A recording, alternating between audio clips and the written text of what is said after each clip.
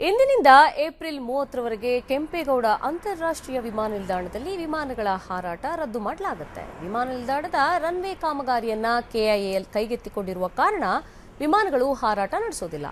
February ಹತ್ತೊಂಬತ್ತರಿಂದ April ಮೂವತ್ತರವರೆಗೆ ಬೆಳಿಗ್ಗೆ ಹತ್ತು ಮೂವತ್ತರಿಂದ ಸಂಜೆ ಐದು ಗಂಟೆಯವರೆಗೆ ವಿಮಾನಗಳ ಹಾರಾಟ ನಡೆಸದಂತೆ ನಿಷೇಧಿಸಲಾಗಿದೆ.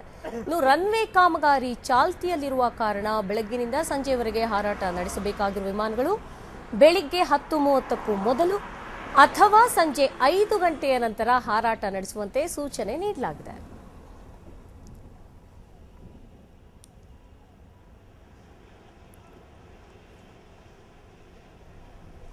ಎಸ್ ವೀಕ್ಷಕರೇ, ಈ ಬಗ್ಗೆ ಮತ್ತಷ್ಟು ಡೀಟೇಲ್ಸ್ ಅನ್ನು ನೀಡ್ತಾರೆ ದೂರವಾಣಿ ಸಂಪರ್ಕದಲ್ಲಿರುವಂತಹ ನಮ್ಮ ಪ್ರತಿನಿಧಿ ಗುರುಪ್ರಸಾದ್.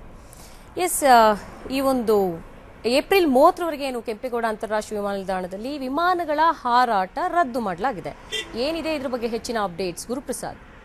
ಹೌದು ಅಪರ್ಣ ಏನು ಅಂದ್ರೆ ಈ ಬೆಂಗಳೂರು ಕೆಂಪೇಗೌಡ ಅಂತಾರಾಷ್ಟ್ರೀಯ ವಿಮಾನ ತೀವ್ರ ಗತಿಯಲ್ಲಿ ಬೆಳವಣಿಗೆ ಹೊಂದುತ್ತಿದೆ ಏನು ಇದು ಇದು ವಿಮಾನ ಹಾರಾಟಗಳ ಸಂಖ್ಯೆ ವೃದ್ಧಿಯಾಗುತ್ತಿದೆ ಹಾರಾಟಗಳ ಸಂಖ್ಯೆ ಕೂಡ ವೃದ್ಧಿಯಾಗುತ್ತಿರುವುದರಿಂದ ಇಲ್ಲಿ ವಿಮಾನ ನೆಲದಲ್ಲಿ ಟ್ರಾಫಿಕ್ ಜಾಮ್ ಆಗಿದೆ. ಆದ್ದರಿಂದ ಇರುವ ಒನ್ ವೇ ಬದಲು ಇನ್ನೊಂದು ರನ್ ವೇ ಮಾಡುವ ಕಾಮಗಾರಿ ಕೈಗೊಂಡಿರುವ ಕಾರಣ, ಏನು ಇಂದಿನಿಂದ ಏಪ್ರಿಲ್ ಮೂವತ್ತರವರೆಗೆ ವಿಮಾನವನ್ನು ಏನು ಬೆಳಗ್ಗೆ ಹತ್ತುವರೆಯಿಂದ ಸಂಜೆ ಐವತ್ತು ಮೂರಗೆ ರದ್ದು ಮಾಡಲಾಗಿದೆ ಅಪರ್ಣ ಎಸ್ ಹಾಗೇನೆ ಈಗ ಏರ್ ಟ್ರಾಫಿಕ್ ಸಮಸ್ಯೆ ಉಂಟಾಗ್ತಾ ಇತ್ತು. ಈ ಒಂದು ಕಾರಣಕ್ಕೆ ಈ ಒಂದು ಕಾಮಗಾರಿಯನ್ನ ಕೈಗೆತ್ತಿಕೊಂಡಿರೋದು ಅನ್ನುವಂಥ ಮಾಹಿತಿ.